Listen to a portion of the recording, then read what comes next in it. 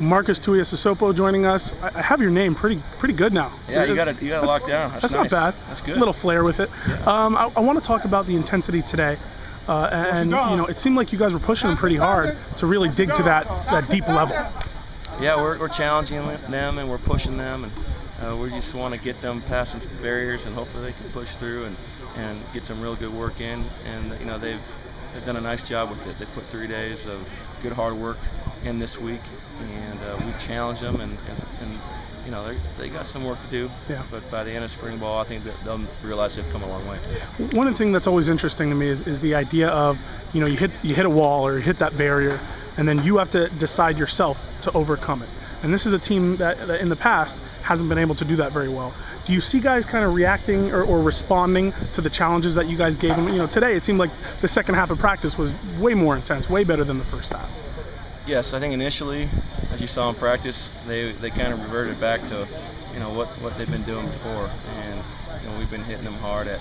If we want to go where we want to go, we got to do something we've never done. Yeah. And they were responding to Coach Mora's challenge, and they finished practice strong. Yeah. So if they continue to do that, then they'll build that uh, mental toughness and that personal fortitude to be able to do that come fall when you're actually going against somebody that's really trying to go against you. Yeah, you know, uh, as a first-time, uh, full-time assistant coach uh, at UCLA, you know, we'll, the bowl practice we'll, we'll leave to the side, but but right now, I want to talk to you about staff cohesiveness. And you watch you guys out there, and it really looks like you guys are all coaching everything. And it seems like a really concentrated effort. You know, if, if you notice something with a quarterback, you're going to say something, or with a running back, you're going to say something. Do you guys feel like you have a pretty common voice now coming from the staff? I think Coach Mora has done a great job of putting together a staff of guys that have the same passion, Okay. uh, have the same focus and mindset on what it takes to win and be a champion. Yeah. And right now we're hitting on all cylinders, and we don't have to try hard. It's just I think how our personalities mesh together.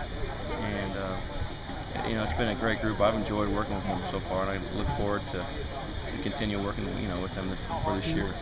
You guys are 20% done with spring ball, uh, three out of the 15. Talk about the next three and what you want to see. You know, forget looking at the spring game or looking that far ahead, but what do you just want to see over the next week? I just want to see, especially my guys, is just keep correcting the errors that they've been making and not to repeat errors Yeah, and just to continue to elevate their game each play and, and in each practice that we have. And you know, I've, I've challenged them in my room, and they've done a nice job. And you know, maybe where they've improved on one aspect, and I've given them five things to think about, and hopefully Okay. next the next this next week they'll be able to now improve on two or three things, if not all five. Yeah. And and and, uh, and I think they will. And like you said, they got to find it within themselves and make that choice. Yeah. It's got to be important to them, and uh, that's why we're making it hard for them. So we can find out who wants to do it and who doesn't. good stuff. Marques T.S. Tuiasosopo, there we go. Uh, UCLA coach, thanks so much. No problem.